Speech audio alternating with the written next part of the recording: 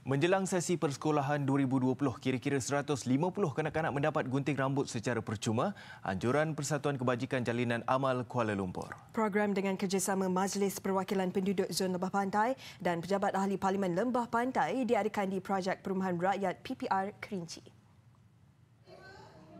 Menurut Timbalan Pengerusi Persatuan Kebajikan Jalinan Amal Kuala Lumpur, Muhammad Azhari Ayub, kos perbelanjaan untuk anjuran bantuan ini kira-kira RM3,500. Program ini adalah kali kedua dianjurkan dan tahun lalu diadakan di Dewan PBR Kerinci dan Dewan Masyarakat Sri Sentosa.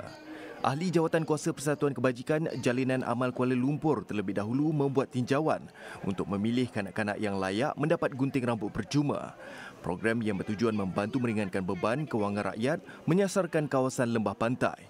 Ini kerana kawasan itu mempunyai ramai keluarga daripada golongan B40. Khidmat gunting rambut secara percuma uh, khusus untuk 150 uh, anak di uh, anak-anak di lembah pantai yang akan mula sesi persekolahan pada 2 hari bulan Januari uh, ini.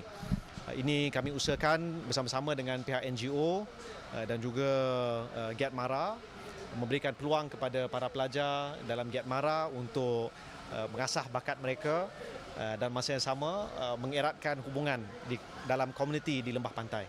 Kanak-kanak berkenaan juga akan menerima beg sekolah, botol air dan cakra padat digital CD membantu pelajaran.